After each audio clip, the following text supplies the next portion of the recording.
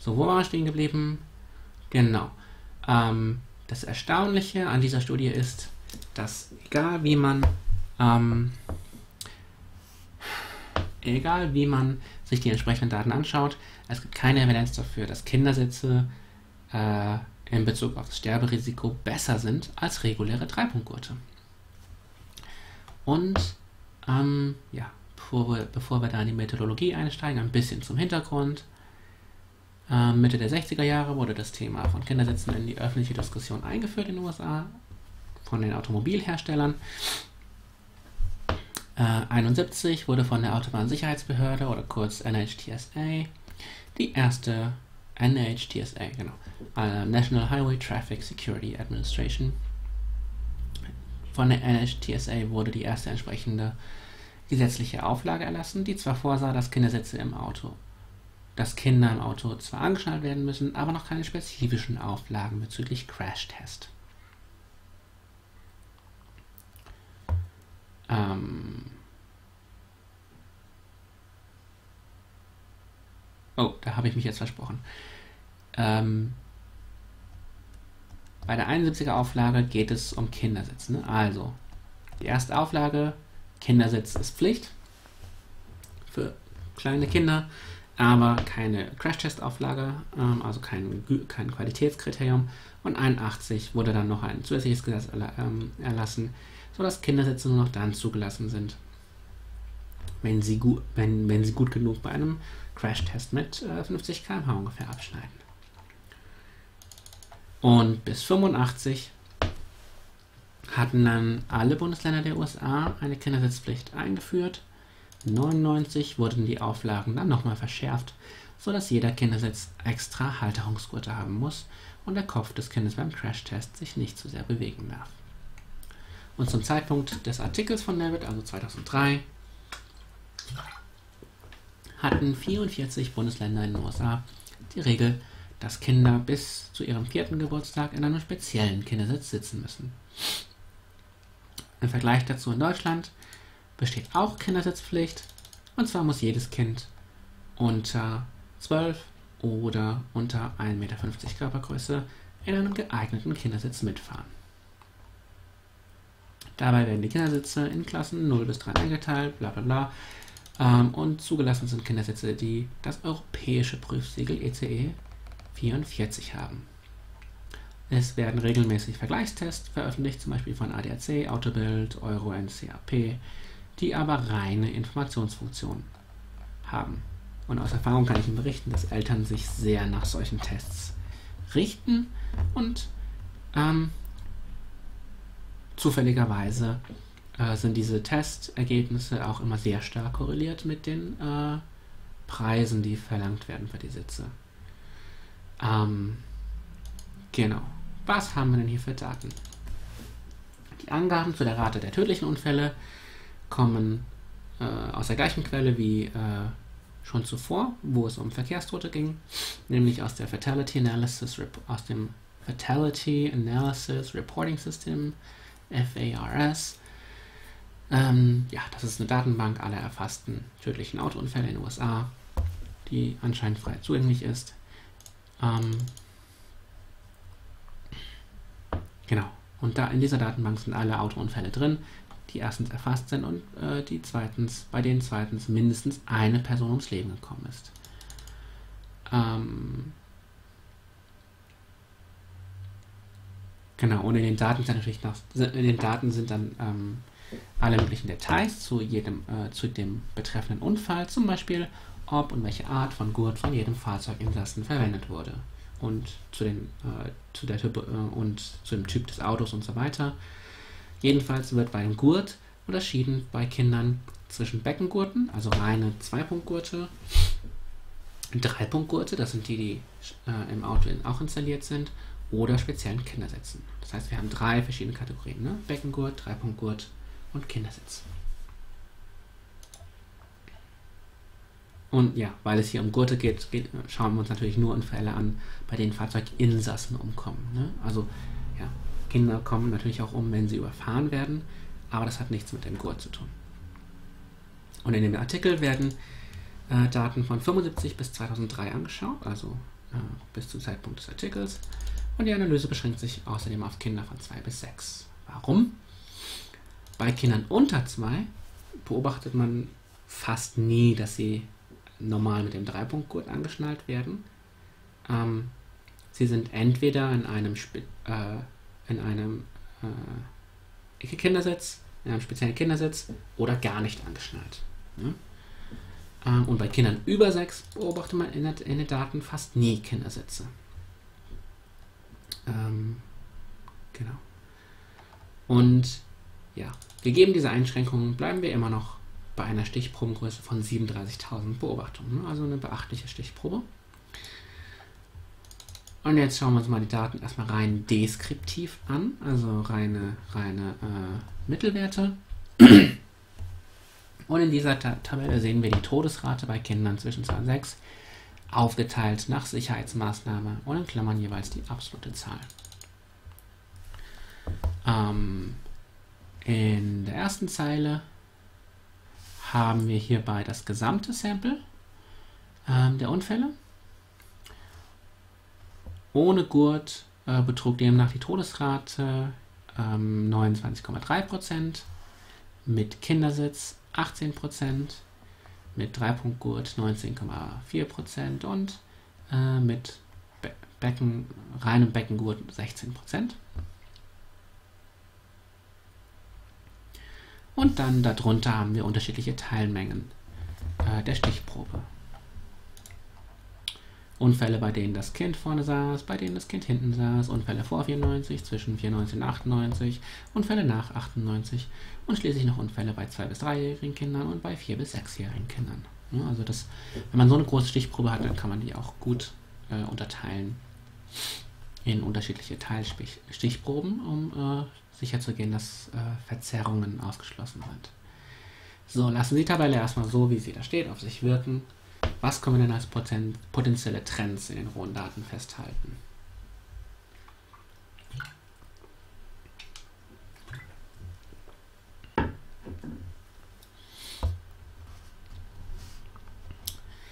Eine Sache finde ich, die sofort ins Auge springt, ist äh, vorne sitzen ist für Kinder viel gefährlicher als hinten sitzen. Sie sehen also hier, wenn Sie hier vergleichen, die to ähm, Todeswahrscheinlichkeiten nee, Todesraten, das ist was anderes. Todeswahrscheinlichkeit wäre ja die Wahrscheinlichkeit im Auto zu sterben ne, und relativ, also die Anzahl der tödlichen Autounfälle relativ zu der Anzahl aller Autofahrten und diese Zahl haben wir natürlich nicht.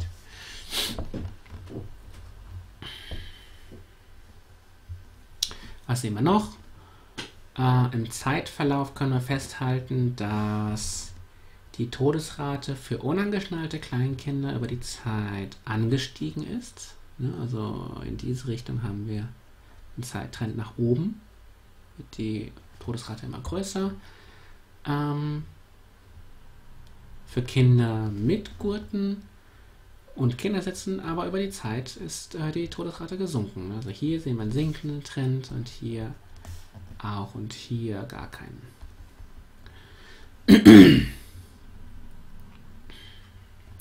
Was sehen wir noch? Ähm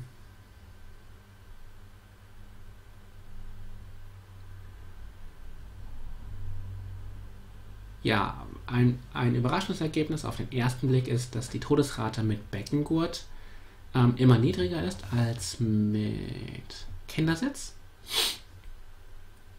und fast immer niedriger als mit Dreipunktgurt. Wie können wir uns das erklären? Klar, ne? das hier sind rein bivariate Durchschnitte, das sind rein, rein deskriptive Daten.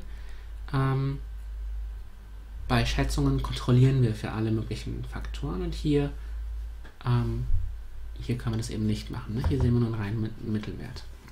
Und ein zweiter, mindestens ebenso wichtiger Grund ist, dass wir in diesen Daten ja nur tödliche Unfälle haben und aus diesen Unfällen wiederum Fälle rauspicken, in denen ein Kind ums Leben kommt.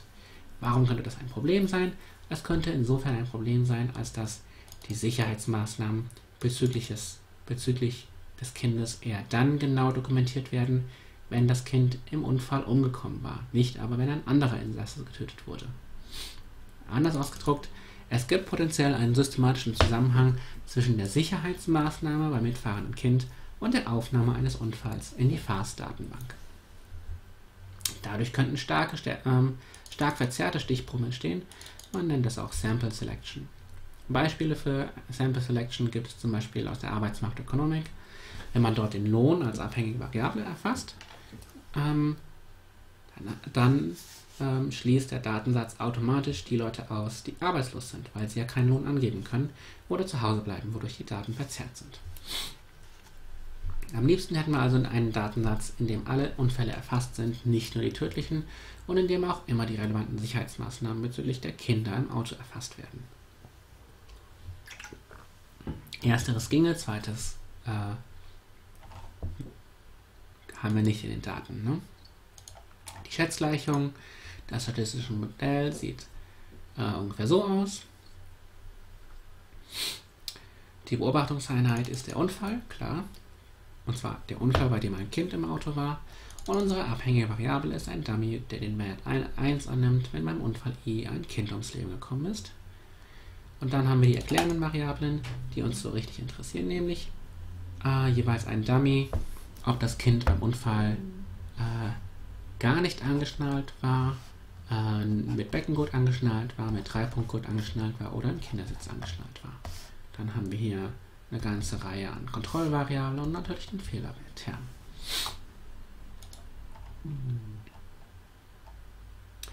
Wie könnte man jetzt das Problem der Sample Selection, der verzerrten Stichprobe, angehen? Wir erinnern uns ja, dass das Problem war, dass es einen systematischen Zusammenhang geben könnte zwischen der Wahl für eine Sicherheitsmaßnahme beim mitfahrenden Kind und der Tatsache, ob der Unfall, ob der Unfall überhaupt in der FAST-Datenbank ist. Und Levitt wählt hierzu einen sehr interessanten Ansatz. Er schaut sich nur Unfälle an, bei denen zwei Autos involviert waren und bei denen im anderen Auto eine Person ums Leben gekommen ist. Warum mindert dieses diese Stichprobe, diese Stichprobenauswahl das Problem der Selektion. Das Argument ist, dass Ceteris Paribus die Entscheidung für eine bestimmte Sicherheitsmaßnahme im ersten Auto unabhängig davon sein sollte äh, von, von der Todeswahrscheinlichkeit im zweiten Auto. Und wenn man die Stichprobe auf diese Weise beschränkt, sollte es keinen Zusammenhang mehr geben zwischen der Entscheidung für eine Sicherheitsmaßnahme und dem Vorkommen im Datensatz. Ziemlich clever, finde ich. Aber könnten Sie sich vielleicht vorstellen, was das für Probleme mit sich bringen könnte? Ein Problem könnte sein, dass man hier durch eine andere Selektion einführt, nämlich äh, solche Unfälle eventuell im Durchschnitt weniger schlimm sind. Außerdem reduziert sich natürlich die Stichprobengröße auf ca. 12.500, also knapp auf ein Drittel, was für sich genommen auch nochmal ein Selektionsproblem aufwerfen kann, äh, aufwerfen kann dadurch, dass man relativ viele Informationen quasi wegschmeißt.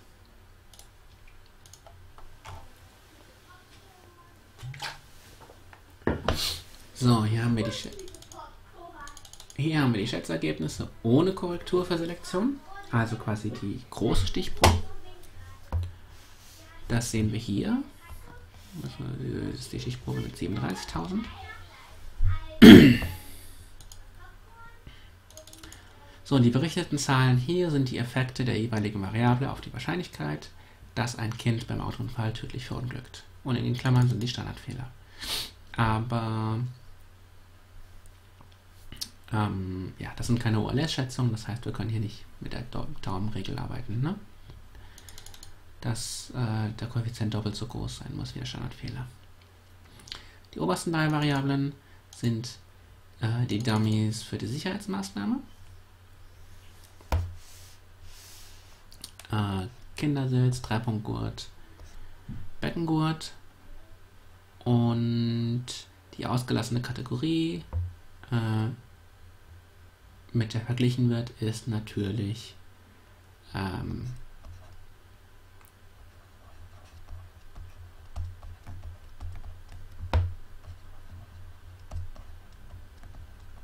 kein Gurt. Ne? Das heißt, dieser Dummy und dieser Dummy und dieser Dummy werden relativ zu der Kategorie kein Gurt interpretiert. Der Effekt ist dann immer relativ äh, zu der äh, Todesrate ohne Gurt. Ähm so, in der ersten Spalte wird ein Modell geschätzt nur mit der Konstanten und den Dummies für, die Sicherheitsmaßnahmen, also ohne jegliche anderen Kontrollvariablen. In der zweiten Spalte werden dann noch eine ganze Reihe an Kontrollvariablen mit aufgenommen. Ähm wo das Kind im Auto saß, äh, also vorne, hinten links, hinten Mitte, hinten rechts, hinten irgendwo anders. Ähm, und die ausgelassene Kategorie hier ist äh,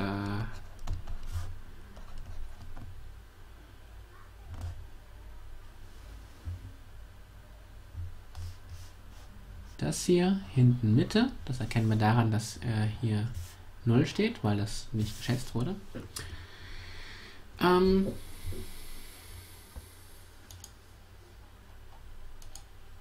was haben wir noch für Kontrollvariablen? Ob das Kind ein Junge war, ob der Fahrer angeschnallt war, ähm, ob es sich bei dem Unfall um einen Pkw handelte, äh, relativ zu einem SUV oder einem Van. Ähm, dann haben wir noch Informationen dazu, ob es ein, ähm, ein Unfall mit nur einem Auto war oder ein Unfall mit zwei Autos. Dann das Gewicht ähm, des Autos, das im Unfall beteiligt war und noch mehr Kontrollvariablen, die aber hier nur genannt werden und äh, ohne geschätzten Effekt. Zum Beispiel äh, das Jahr des Unfalls, das Baujahr des Autos, Alter der, Alter der Fahrzeuginsassen, Art des Unfalls, ob es ein Aufprall oder ein Überschlag oder was anderes war und noch mehr Kontrollvariablen. Ähm, und in Spalte 3 kommt dann ähm,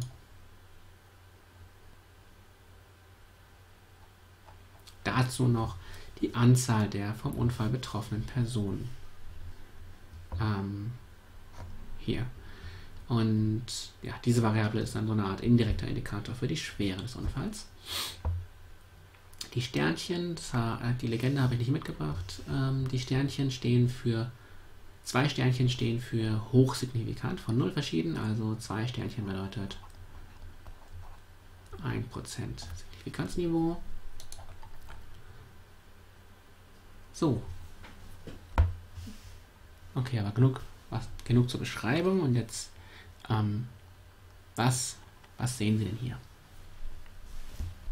Also, wir wissen, die drei Variablen hier sind Dummies und wir können da den Effekt vergleichen auf die Todesrate.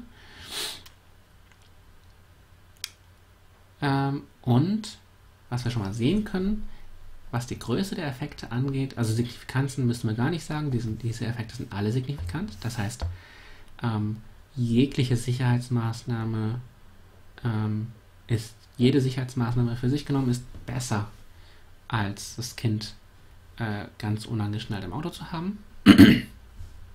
Aber was wir sehen, dass die Effekte sich kaum unterscheiden. Ne? Also der Effekt für Kindersitz ist äh, 0,112. Der Effekt für einen Dreipunktgurt ist 0,1 und der Effekt für Beckengurt ist 0,126. Also und ähm, auch hier kaum Unterschiede in den Effekten und auch in dieser Schätzung wenig Unterschiede in den Effekten, obwohl hier äh, der Effekt äh, für nur Beckengurt doch äh, geringer ist. Insgesamt können wir aber als vorläufiges Ergebnis festhalten, dass der Effekt von Kindersitzen relativ zum Nichtanschnallen sich nicht stark unterscheidet vom Effekt von Dreipunktgurten relativ zum Nichtanschnallen.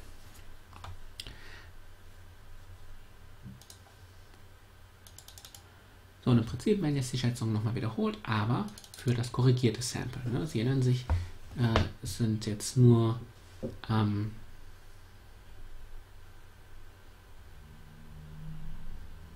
hm, es sind jetzt nur Autounfälle, bei denen zwei Autos involviert sind. Ne, es sind zwei Autounfälle, bei denen im anderen Auto eine Person gestorben ist. Okay. Ähm, das sehen wir schon mal daran, dass die äh, Stichprobe, dass die Größe der Stichprobe gesunken ist. Wir haben jetzt nur noch äh, 12.000 Beobachtungen. Was fällt auf?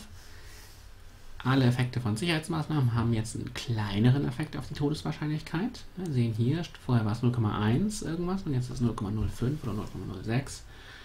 Und ähm, ja, ein Erklärungsansatz wäre zu sagen, äh, dass die Unfälle in diesem reduzierten Sample im Durchschnitt weniger schlimm sind vielleicht. Ähm, aber am wichtigsten auch hier als Gesamtergebnis festzuhalten, dass sich die Effekte von äh, Kindersitz und Dreipunktgurt fast gar nicht unterscheiden. Ne? Bloß ähm,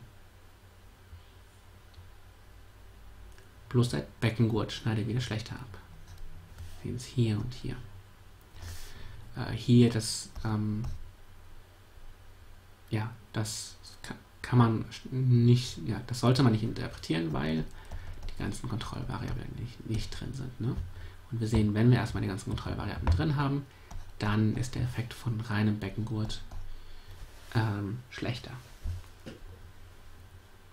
Okay.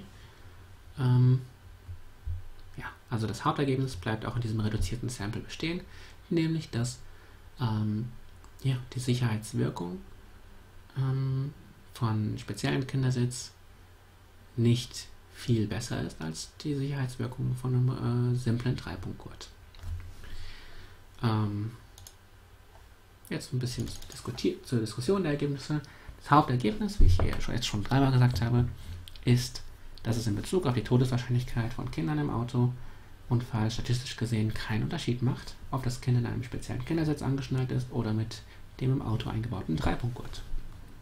Was mit den vorliegenden Daten natürlich nicht bewertet werden kann, ist, welche Vorteile Kindersitze bei nicht tödlichen Unfällen gegenüber Dreipunktgurten bieten. Deshalb, ähm,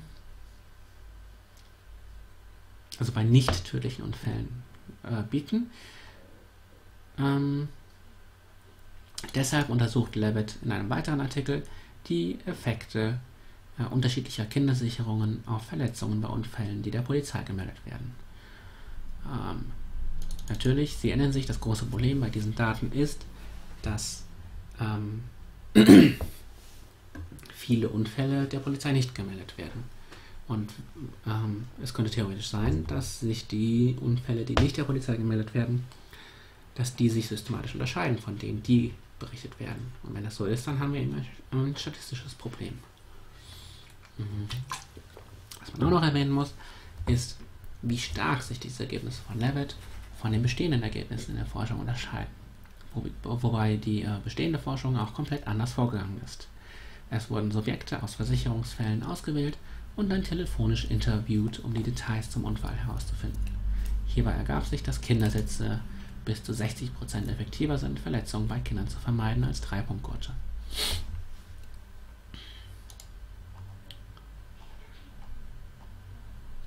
Ein weiteres Problem, das sich mit den von Levitt benutzten Daten zu tödlichen Unfällen nicht angehen lässt, ist, inwieweit, in, ist inwieweit die Ergebnisse davon beeinflusst werden, dass Kindersitze, auch äh, wenn sie vorhanden sind, eventuell äh, nicht korrekt installiert werden. Okay? Wenn zum Beispiel ein großer Anteil der Autofahrer zwar Kindersitze benutzt, aber falsch installiert, dann äh, ist, ist es natürlich kein Wunder, dass Kindersitze nicht besser vor dem Todesrisiko schützen als reguläre Dreipunktgurte.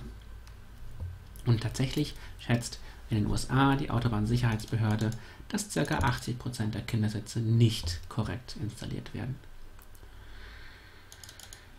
Was Steven David auch noch gemacht hat, ist, ähm, und was in dem äh, verlinkten TED-Vortrag auch gezeigt, detailliert gezeigt wird, ist, einen eigenen Crash-Test durchzuführen. Und hierbei hatte er erstmal das große Problem, Problem dass keine der üblichen Crash-Test-Firmen bereit war, überhaupt mitzumachen, selbst gegen Bezahlung. Das Problem liegt natürlich darin, und damit kommen wir schon äh, fast zur Politikempfehlung oder zur, zur politischen Relevanz. Das Problem lag natürlich darin, dass diese Firmen ihr Geld hauptsächlich durch die von Kindersitzherstellern finanzierten Tests machen und es sich natürlich nicht mit denen verscherzen wollen, indem sie an negativen Ergebnissen beteiligt sind. Schließlich fand Levitt doch eine Firma, die mitmachte, äh, natürlich gegen einen signifikanten Preisaufschlag und garantierte Anonymität. Und tatsächlich, auch bei diesen Crash-Test-Werten ergab sich kein signifikanter Unterschied zwischen Dreipunktgurt und Kindersitz, obwohl man ja hier sicher sein kann, dass der Kindersitz perfekt installiert ist.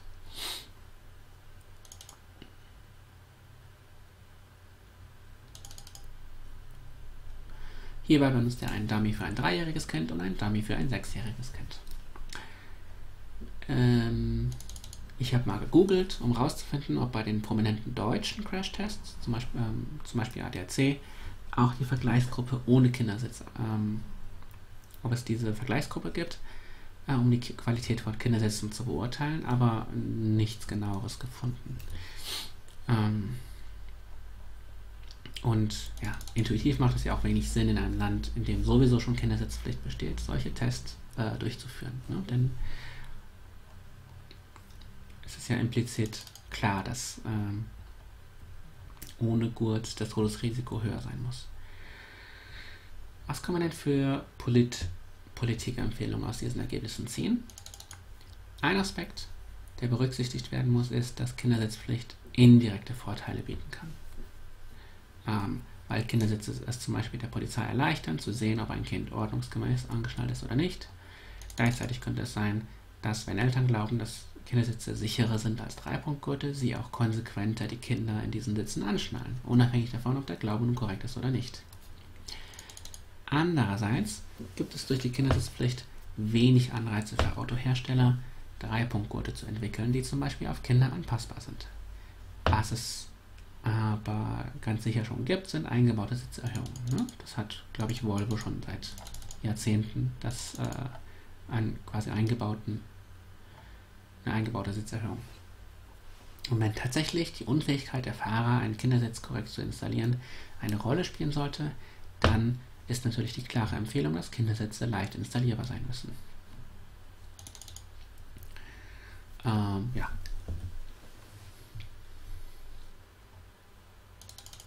Und im Vortrag betont Stephen Levitt dann, dass die Hauptnutznießer von, gesetzlichen, von der gesetzlichen Kindersitzpflicht äh, wohl aus monetärer Sicht die Herstellerfirmen sind. Und auch hier kann ich aus persönlicher Erfahrung sagen, dass ähm, ja, dass man leicht dazu verleitet wird, äh, einen der teureren Sitze zu kaufen, äh, weil er eben im Test besser abschneidet. Ähm, aber statistisch gesehen äh, scheint es keinen Effekt, keinen, keinen besseren Effekt auf die äh, Todeswahrscheinlichkeit zu geben.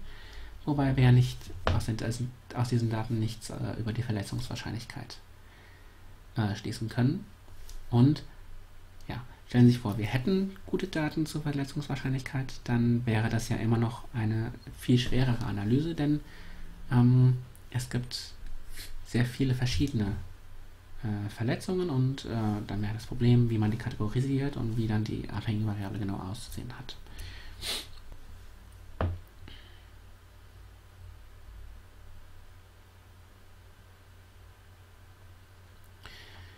Okay, das war alles, was ich zum Thema Schadensrecht zu sagen hatte. Wir haben jetzt äh, eigentlich einen ganz guten Rundumschlag gemacht, was die empirische Evidenz angeht. Und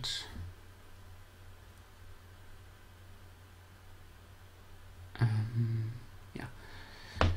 Was Freitag angeht, wahrscheinlich werden wir wieder normal, eine normale Übungssitzung machen. Ähm, ja, ich tendiere im Moment eher dazu, dass wir eine normale Übungssitzung machen. Das, ähm, und das, ich denke, das ist für Sie auch für die Klausur praktischer, als wenn wir da eine Exper wieder in den PC-Pool gehen und da Experimente machen. Ne, denn die Experimente, die ich jetzt noch übrig hätte, die für Sie ähm, am ehesten relevant sind, die haben immer noch relativ wenig mit der, der Vorlesung zu tun und mehr mit äh, Gerichtsverhandlungen.